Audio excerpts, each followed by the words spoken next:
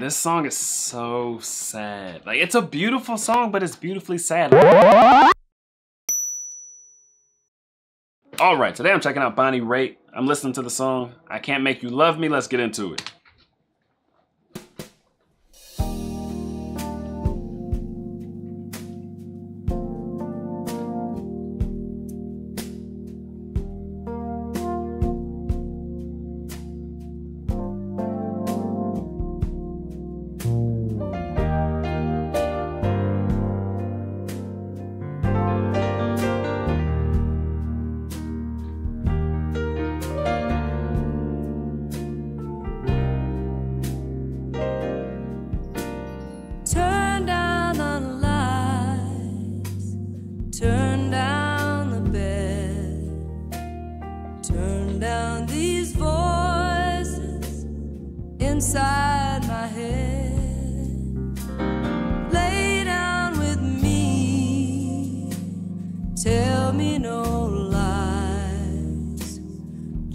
Hold me close, don't patronize,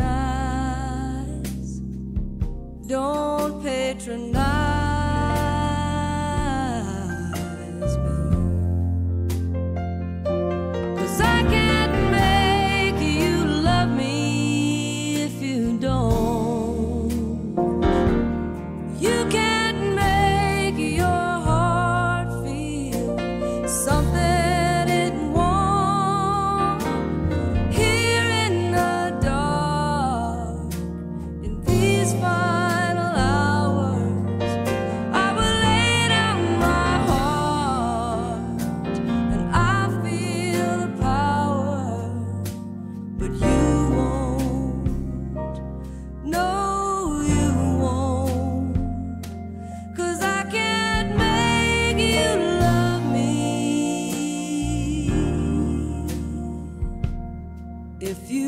Don't.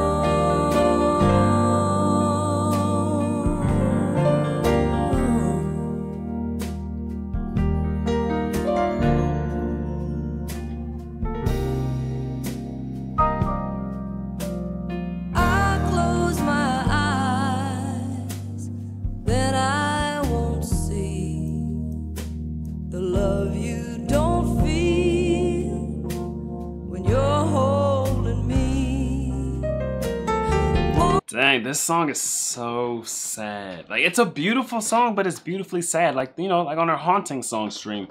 This would be perfect for that. And uh, it sucks. You know what I mean? Can't make you love me. You can't negotiate someone loving you. There's nothing you could do really if you're in that situation. You just gotta come to terms.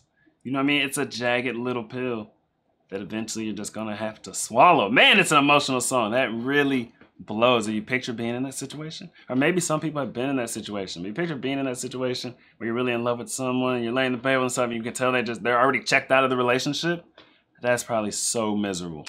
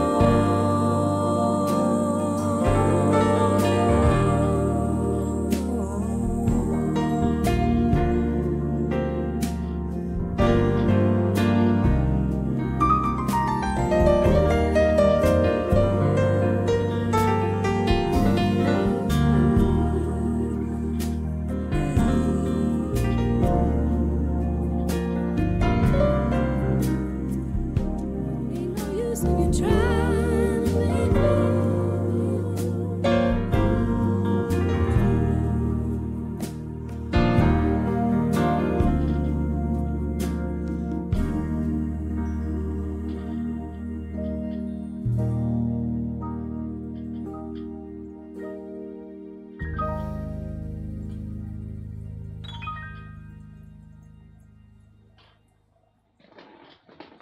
Dang, that song was so sad sounding that like just purely the piano that could have been a funeral song or something like that, you know?